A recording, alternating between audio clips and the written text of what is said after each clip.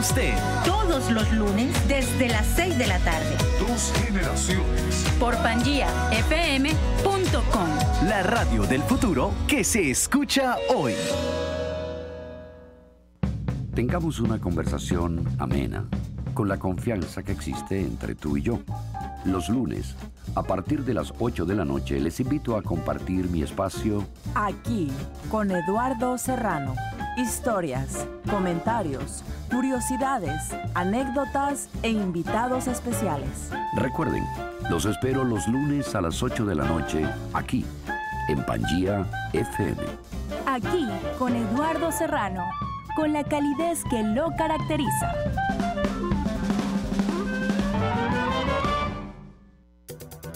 Amigos, esta hora 4 con 24 minutos, una recomendación rápida pero importante. Humboldt International University, un número telefónico y su futuro podrá tener de repente un color distinto al que podría tener ahora. Haga el contacto con gente que le va a ayudar a salir adelante, porque los estudios, tanto terminarlos en la universidad como las maestrías y doctorados son muy importantes y puede hacerlo así tipo Pangía, online en cualquier parte del mundo. 7, anote el número por favor, 305-448-7454 o entre a nuestra página web hiuniversity.com. Humboldt International University y naveguemos juntos hacia el futuro. A nuestra fiesta aniversario, tú estás invitado. El próximo primero de diciembre, prepárate para celebrar los cinco años de Pangía FM a nivel de Champions. Pangea Fest. Pangea Fest. Primero de diciembre. Una programación incomparable. Somos PangiaFM.com. Amigos de Pangía, les habla Eduardo Serrano. Quiero invitarles a que sigan en sintonía de pangiafm.com. Pangía FM. Pangía FM. Y desde este momento, Noticiero Pangía presenta Pangía sin mordaza.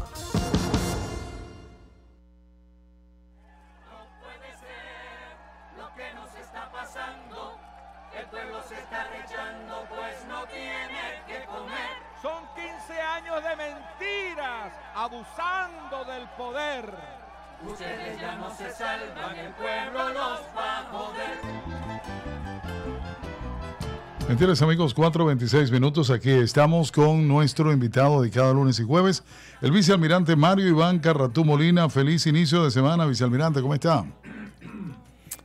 Gracias, Edgar. Muy amable por la invitación nuevamente. Un saludo a los oyentes. Un fin de semana de expectativas por dos razones. La primera, la elección en Brasil, eh, que echó por, echó por, dio al traste con la presencia del Foro Sao Paulo en Brasil y los gobiernos consecutivos de, Lula da Silva, fundador del Foro Sao Paulo, y Dilma Rousseff, fundadora original del Foro Sao Paulo, junto con muchos venezolanos, y con Ali Rodríguez Araque, el, el político venezolano de izquierda radical, asesino, guerrillero, que cronológicamente falleció en Cuba, pero que de, deja también un vacío, vacío político importante a ese foro que ha mantenido en vilo y, y, y va en jaque a la comunidad política latinoamericana y a la población en general. O sea que este fin de semana fue duro para la gente del foro de Sao Paulo. Sí, fue, fue duro en el sentido político y de acuerdo que pierde uno de sus principales eh, exponentes de esa política nociva, tóxica, de, de, ese grupo político liderizado de, hace mucho tiempo por Fidel Castro, que aún muerto sigue gobernando en la región, o por lo menos sus sus orientaciones políticas de control y su misión social siguen vigentes en algunos países de la región, especialmente Centroamérica, Venezuela, Colombia, en, cierta manera, y algunos otros países, Bolivia y Argentina. Eh, Brasil, Brasil, también, Brasil tiene una, una poderosa población de izquierda o radical, el 43% creo que fue la elección donde, donde perdió el candidato opositor. Y esa es una fuerza importante, movilizable, que puede producir eventos importantes o negativos en la región, en Brasil primero y después en la región. Y lo otro es las expectativas de que siguen rondando en el ambiente político nacional sobre la intervención norteamericana, sobre la ayuda, ayuda humanitaria, sobre los partidos eh, que están agrupados en el Frente Amplio, eh, la exponente de Yo Soy Venezuela sola en el territorio, María Corina Machado, agredida y perseguida brutalmente por el gobierno, y algunos, eh, algunas personas de ese grupo, de esos grupos políticos en el extranjero, Borges en Bogotá, Ledesma brincando de un lado a otro, no sé dónde puede estar ahorita, estuvo en Puerto aquí, estuvo aquí en Miami, en Puerto Rico, estuvo en Washington, regresó a España o, no sabemos dónde está. Y el embajador Diego Arias, que está, creo que está en España dando unas conferencias o está en Nueva York en este momento. Lo, cierto es que nosotros los ciudadanos, todos, los que estamos aquí y los que están allí en Venezuela, estamos a la expectativa y no logramos, no logramos estructurar nuestra, nuestra posición como personas que queremos eh, rechazar o ayudar a salir de este problema que tiene Venezuela. Entonces, en este fin de semana fue un, un espacio de tiempo de 72 horas que fueron movidas en opiniones encontradas, mentiras, chismes, chismes políticos me refiero, no de, no de las personas en general o en particular. Pero bueno, estamos en eso y hay que, hay que poner el cascabel al gato, como decían en, mi época de, de estudiante de primaria en los colegios de Caracas y todavía no hemos logrado ni siquiera tener el cascabel en la mano. O sea, estamos buscándolo para que nos oriente. Y eso es un defecto grave y es una, un factor negativo para nosotros los venezolanos, aunque eh, yo soy yo soy tengo una expectativa positiva, no me refiero a esperanzado, esperanzado, pero sí positiva porque ninguna sociedad política puede aguantar tanto y por largo tiempo. Eso vendrá en algún momento terminado, una, una expresión popular violenta, una, un, un, desbordamiento de la, de las Fuerzas Armadas en sentido de rechazo al gobierno o no acatar órdenes al gobierno y ahí se define la situación y nosotros todavía no tenemos el equipo que podría encabezar una transición hacia hacia la democracia que cuando pueda ser.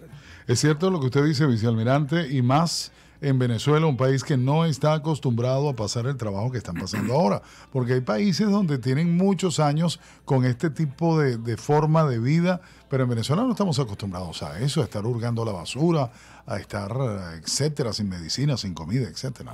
Nosotros, no éramos así, éramos un país privilegiado, con todas las fallas que tenía la democracia. Lo digo con mucha franqueza porque en mi cargo, en, mis actividades militares como oficial de la Armada y después trabajando con el presidente Carlos Andrés Pérez, fallecido, recorrí todo el continente, todo el continente, desde Canadá hasta el sur, excepto me faltó eh, el Uruguay, y ahí no llegué, no llegamos a ir al Uruguay, no, no fue él, yo no fui. Y en, todas las, en todos esos países yo vi miseria, vi pobreza, vi grandes limitaciones estructurales de la ciudad, de las avenidas, los servicios, agua, salud, la, basura, la recolección de la basura que, es determinante en un, país para la salubridad y la, salud de los pobladores. En todas partes, en Haití, las, cañerías abiertas en las calles, las personas lavaban los, utensilios de comida en las cañerías de, las, de las grandes de las grandes avenidas. en Ecuador igualmente, Perú, no es que sean unos degredos de países, sino que nosotros teníamos un, margen positivo de crecimiento derivado de la factura petrolera, de la administración de los gobiernos de democracia y del crecimiento natural de Venezuela, que es un país pequeño.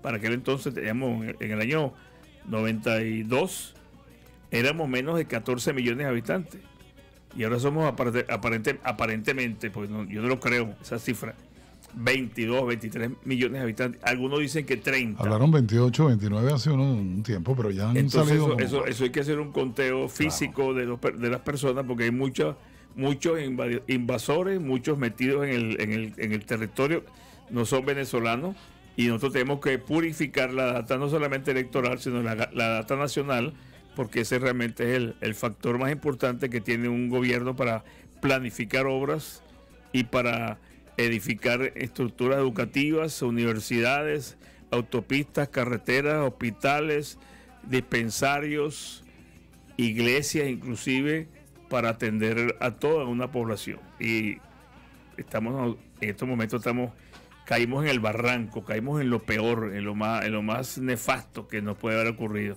comiendo basura. Y ayer me llegó una comunicación, me llegó una información de Caracas que la violencia se ha entronizado en, en, varios sectores de la población, no solamente en las clases socialmente más bajas, sino en la parte de los condominios, en la parte de las reuniones sociales, en, la, en las avenidas, en las urbanizaciones, en, la, en las cofradías, en, la, en, los grupos de interés que se han ido formando para enfrentar al gobierno, a una doctora, una persona del, del oficialismo, en una reunión de condominio que estaban reclamando el uso de los fondos y la pulcritud de los fondos del manejo de ese condominio. La, profesora, la doctora, fue agredida con un, eh, eh, con un cuchillo y le cortaron la cara, le cortaron casi el cuello. Eh, por suerte no le cortan la vena yugular o la vena que alimenta el cerebro y hubiese fallecido esa doctora ahí. Pero la violencia está escalando y está escalando porque hay hambre, porque los problemas no son resueltos, porque cada quien quiere hacer lo que quiere, porque no hay respeto del vecino, del ciudadano, ni del amigo, ni el conocido. En, suma, lo que hay es un estado de anarquía peligroso. Total, total. Y eso puede desbordarse. Total el estado de anarquía en Venezuela, esa es la palabra, anarquía. Eh, 4 con 36 minutos. La presidenta vicealmirante, la presidenta de ALDE Group, se llama Dita Charanzova, instó a la Unión Europea a unirse a la petición de los países que solicitan a la Corte Penal Internacional eh, abrir una investigación sobre crímenes de lesa humanidad contra Nicolás Maduro. ¿Supo de esa noticia? Sí, sí, la leí con, leí con, mucho cuidado. Es, es el sentimiento creciente y mayoritario que hay en todos los gobiernos, en todos los países frente al dramático, eh, la dramática situación que vive Venezuela. Pero al mismo tiempo, yo me pregunto, y aquí, aquí no es que cuestione lo que esta doctora está haciendo, ni mucho menos, todos los países del mundo, especialmente los occidentes, pero todos los países del mundo, están asociados a la Organización de Naciones Unidas. Las Naciones Unidas tiene Cruz Roja Internacional, tiene ANUR para el manejo de las migraciones, tiene el Consejo de Seguridad de las Naciones Unidas para los conflictos bélicos y las propuestas de paz, intervenciones de paz en, cualquier país del mundo. Tiene la Corte Penal Internacional, que también depende de las Naciones Unidas. Y resulta que estos países, estos países, deberían reflejar ese reclamo en el Consejo de Seguridad de las Naciones Unidas, que es el organismo adecuado y autorizado para tomar medidas cuando ocurren las violaciones como las que están aconteciendo en Venezuela.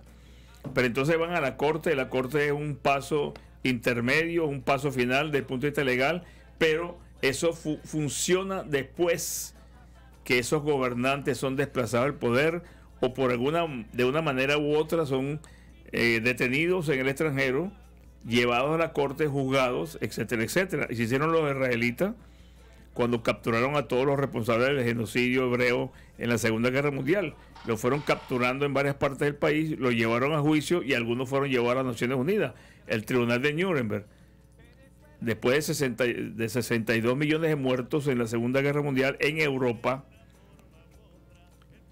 lo llevaron al, al Tribunal de Nuremberg y, si mal no recuerdo la cifra, fueron siete personas juzgadas, de los cuales cuatro fueron ejecutados, dos a cadena perpetua y un quinto, un japonés, creo que fue fusilado por orden del, Alto Tribunal de Nuremberg. Yo no estoy comparando lo que ocurre en Venezuela con lo que ocurrió en la Segunda Guerra Mundial. Pero estos forajidos que están gobernando el país tienen miles y miles de muertos. Y es un Estado fallido, un Estado forajido. Hay un vacío de poder, no es porque lo haya dicho yo o cualquier persona, es que eh, la Asamblea Nacional decretó vacío de poder hace como un año. El Tribunal Supremo sentenció en contra del presidente por corrupción, suficiente para que sea sacado del poder. Y no opera, no funciona. Entonces necesitamos una fuerza coercitiva o una combinación de ciudadanía con militares que unidos todos puedan presionar desde los, todos los niveles sociales, universidades, colegios, calles, en toda parte, presionar para que esta gente salga del poder. Pero el miedo, la falta de unión, porque no hay unión, los intereses partidistas y la ausencia de liderazgo político no permiten que la sociedad busque su camino y se oriente a buscar su libertad y a buscar zafarse de estos, de estos bandidos. Nos queda, nos queda. Los militares si se deciden que están destruidos, los, los venezolanos allá en el territorio si se unen, porque afuera, afuera damos la idea de que estamos luchando por el país pero no estamos unidos en esa lucha.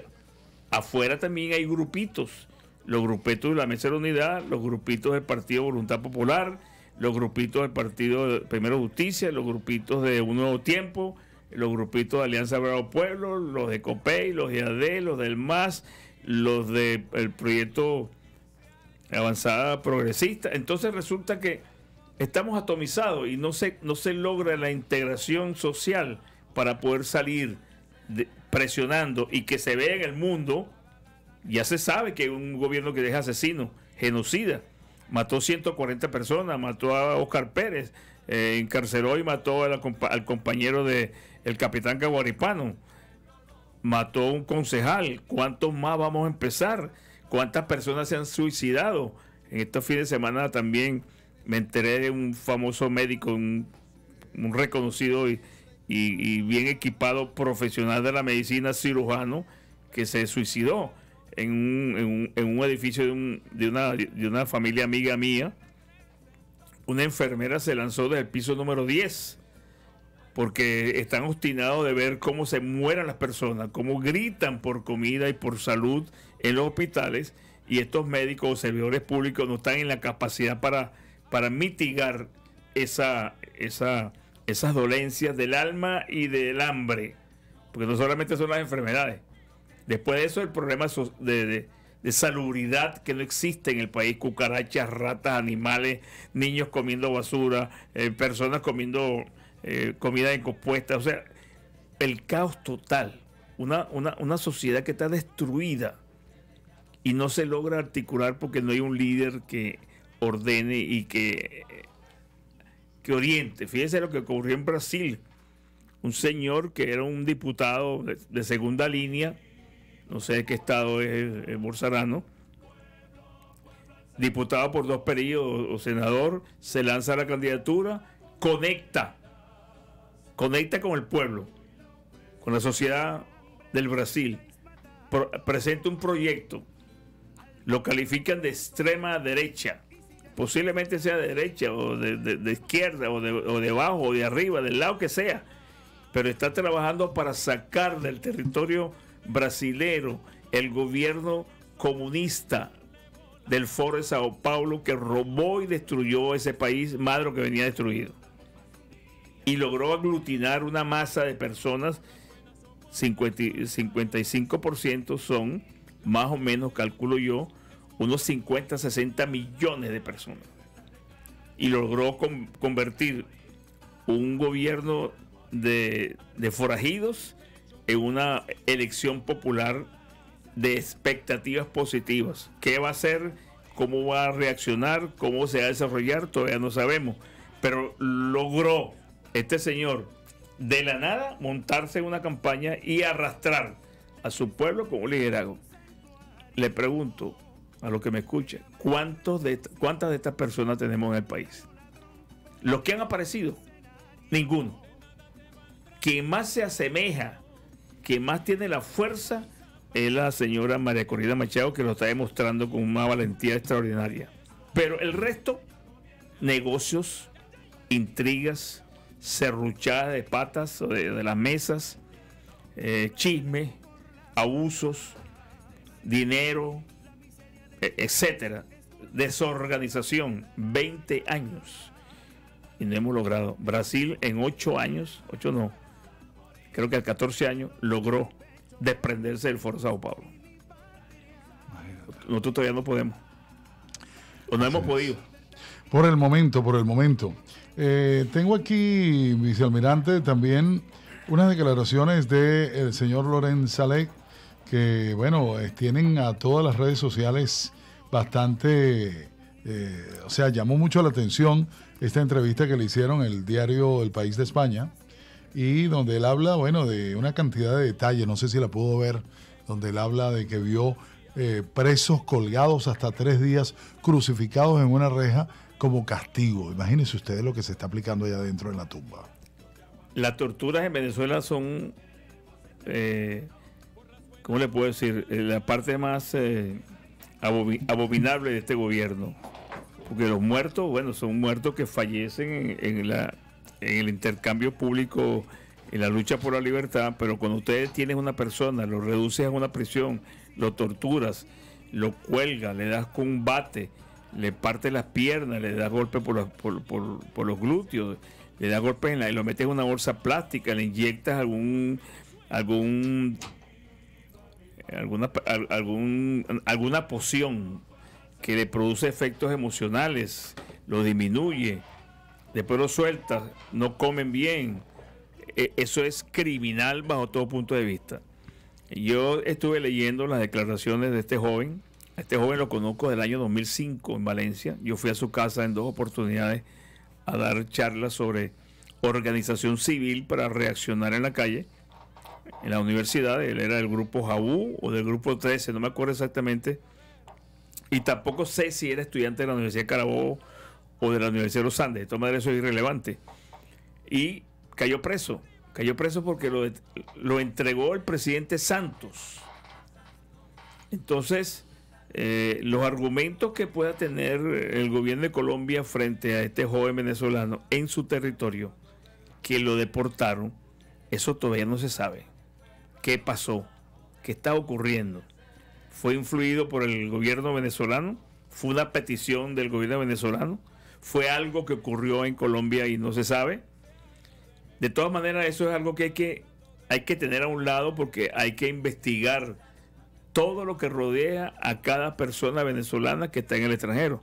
Cuando yo regrese a Venezuela, yo tengo que rendir cuenta por qué estoy exilado. Yo estoy exilado porque fui señalado como terrorista. ¿Cuál terrorismo hice yo? ¿En qué momento?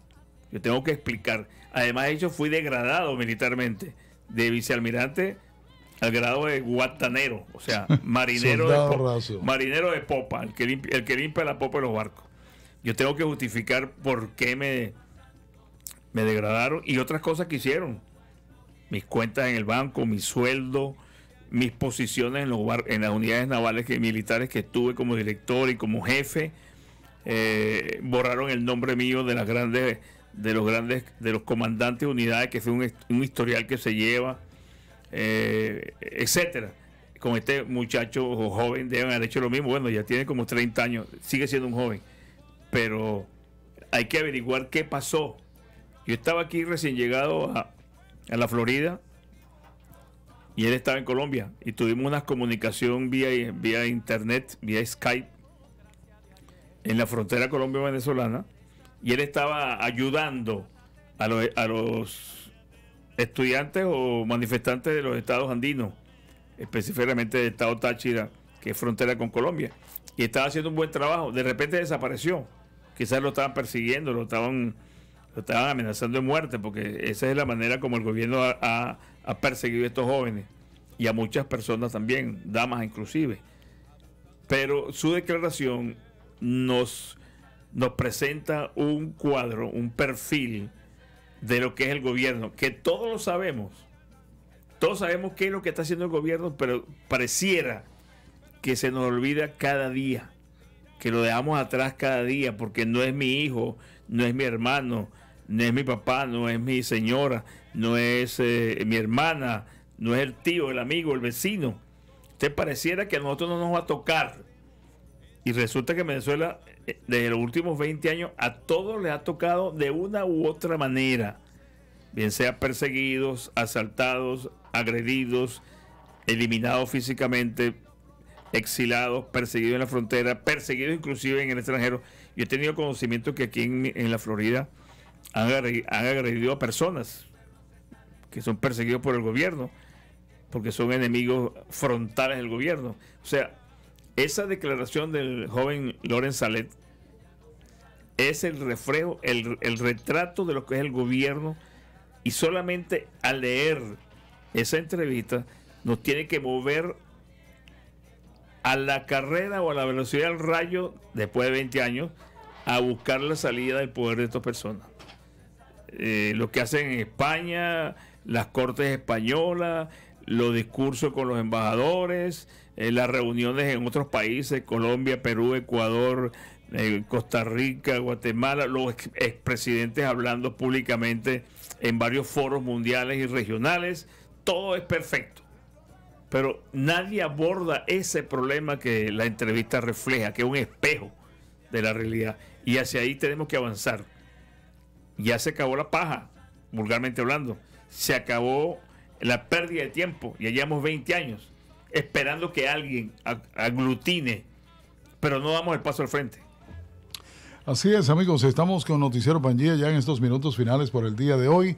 Quiero hacerle un comentario, mi estimado vicealmirante Enrique Aristilleta Granco, una gran personalidad que estuvo presente en esos, en esa, el derrocamiento del general Marcos Pérez Jiménez y que aún vive y está luchando también como usted y como muchos por una Venezuela mejor, escribió en su cuenta lo siguiente. Un gobierno de transición, de lo cual hemos hablado aquí en Noticiero Pangía muchas veces usted y yo. Un gobierno de transición debería estar formado por personas sin militancia partidista, que piensen en el bien del país y no en quienes ganarán las elecciones. Tendrá que tomar medidas duras, tendrán que tomar medidas duras que hay que acometer sin temor a quemarse esto está muy bien, ¿no? Porque muchos de ellos dicen, no, yo ahorita no me voy a meter en eso porque yo quiero ser el candidato. Transición, vayan ustedes allá a quemarse, pero realmente, como dice y hemos dicho nosotros aquí, es muy importante, vamos a trabajar por el país, ¿cierto? Totalmente de acuerdo con el doctor Aristiguete, yo lo conozco, he hablado con él en varias oportunidades, nunca en estos términos que está hablando en este momento, pero sí siempre involucrado en la lucha y en la la organización política para sacar al gobierno, sin la fuerza que ya sabemos que no existe, pero él ha sido constante en su lucha. Eh, de acuerdo con él, ¿por qué? La desunión de la oposición política en Venezuela es por el afán de que cada partido político saque la cabeza por encima de los otros. Así es. Que a la hora de un cambio ellos asumen el control político del país. Entonces, en esa competencia desleal, irracional, ilícita, porque no está legitimada por nadie, frente a un ciudadano expectante, desesperado, es también criminal. Así es. Porque engañan al venezolano. Y ya tengo conocimiento que hay por lo menos 18 presidentes de la transición. Saben ustedes que la transición no se elige la transición se asume en el momento que cambia el régimen. Y quienes asumen la transición son los escogidos. Pregunto, ¿escogido por quién? Eso le iba a decir, ¿quién los escoge? si es la mesa de la unidad, estamos fritos. Si no hay, si no hay sindéresis, si no hay madurez política, si no hay desprendimiento y, y si no hay responsabilidad, ocurre lo del 11 de abril. El 11 de abril no era Carmona solo, era una junta. así es. Y se metieron unos unos asomados, para decir una palabra, que todos saben quiénes son, los partidos. No fue AD, yo no estoy defendiendo AD, pero no fue AD, fue COPEI y algunos demás. Se metieron a integrar el Consejo de Ministros, pero ninguno asumió la frontalmente la posición de incorporarse a la Junta a la Junta de Transición porque no querían, sino que fueran miembros de partidos. Y en ese momento no era conveniente de partidos, como tampoco es conveniente ahorita. La transición en Venezuela comienza cuando salga el gobierno. En el momento que salga el gobierno, por la medida que sea, ese grupo de venezolanos tiene que ser impares. Tres, no puede ser uno.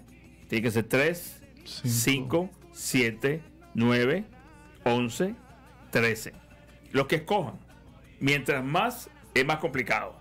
Pero no pueden ser repartidos, porque entonces en esa transición, yo que soy de Primera Justicia, voy a querer ayudar a mi partido con los cargos más importantes de los partidos. Si soy de un Voluntad Popular, igualmente. Si soy ADECO, quiero meterlos ADECO. Entonces se va a formar un berenjenal en esa Junta de Transición que de repente no logra el cometido y se pierde el efecto. Y regresan de nuevo. Que es lo grave. Regresan. Porque el soporte de esa nueva Junta de Transición van a ser los militares. No hay policías. Y la sociedad, indiscutiblemente primero que toda la sociedad. Pero si no se organizan y no pelean el respaldo militar, esa junta de transición, la que sea, quien la presida, yo le auguro poco tiempo en el poder porque necesitan un respaldo importante que los defienda y los mantenga. Fíjense lo que pasó con los magistrados. Los nombraron legalmente, democráticamente, constitucionalmente, pacíficamente, como decían ellos. ¿Y qué pasó? Hay cuatro o cinco en Chile, hay cuatro o cinco en Colombia y hay siete u ocho aquí en, Miami. Y tienen que estar comunicándose y tienen que estar negociando las decisiones porque no es la misma que estén colegiadamente identificados y unidos en un sitio. Venezuela sería lo ideal o lo, único, pero tuvieron que repartirse en, el, en el mundo y en América Latina. Entonces, volviendo al caso del doctor Aristilleta, si la oposición política no asume su espacio de apartarse, buscar los nuevos liderazgos o los liderazgos capaces de manejar esta crisis para que reestructure el Estado. Fíjense, ¿quién le va a poner orden a los grupos paramilitares armados, a los grupos de las guerrillas armados? ¿Qué presidente se va a lanzar a la calle a discutir con qué militares? ¿Cuál es el liderazgo militar que tienen? el problema es muy complejo y no puede ser resuelto en la macolla de un partido, porque yo defiendo esto, porque yo soy democrático y he estado 20 años aquí. No, no, todos hemos estado 20 años, o el tiempo que nos lleva. Entonces, ese desprendimiento es necesario. Y si no se produce, tenemos un elevado porcentaje de fracaso, porque no van a tener la legitimidad ni el apoyo popular que requiere esa transición. Es como un bebé que salga con, nazca con problemas de nacimiento y no tenga la atención médica inmediata. El equipo médico que atiende a ese bebé. Bueno, igualmente ocurre en Venezuela como país político. No queremos que suceda lo mismo, usted lo acaba de decir, del 11 de eh, abril, porque imagínese usted.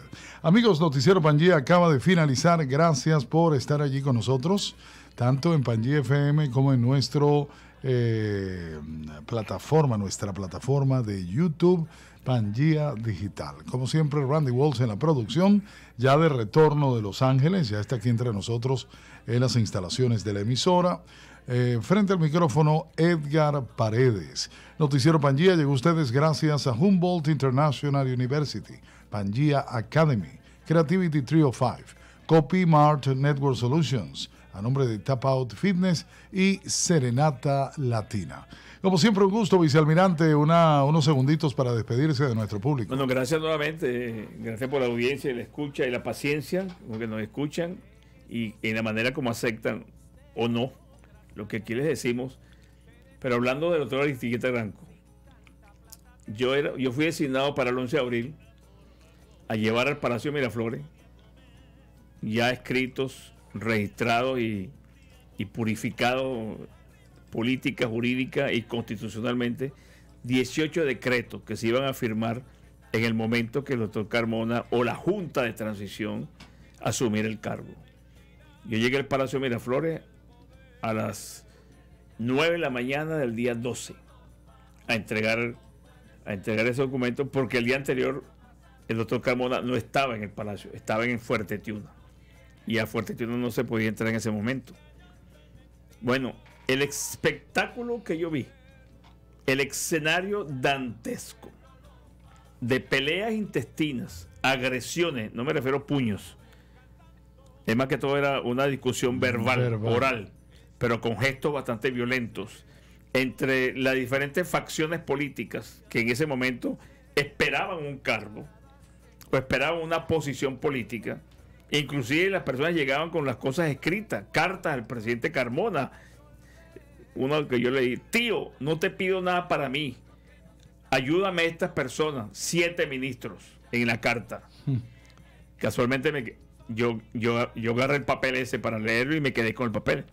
Me quedé con ese documento. Y así, a, las, a la una de la tarde me fui del palacio porque no había forma y manera de que se pusieran de acuerdo. Ni los que estaban afuera, ni los que estaban dentro del despacho presidencial. Eso se puede repetir. Sí, señor, así que esperamos que no. Bueno, como siempre, gracias. Ya llegó nuestra querida Adriana Pérez con su programa En Positivo. Luego a las 7 tendremos dos generaciones. A las 8 Eduardo Serrano con su programa.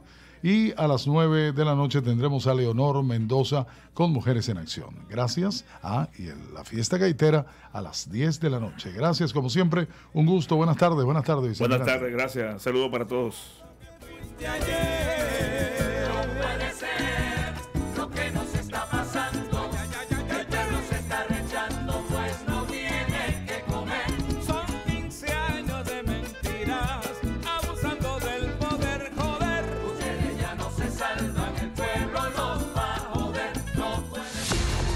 PangiaFM.com presentó Noticias.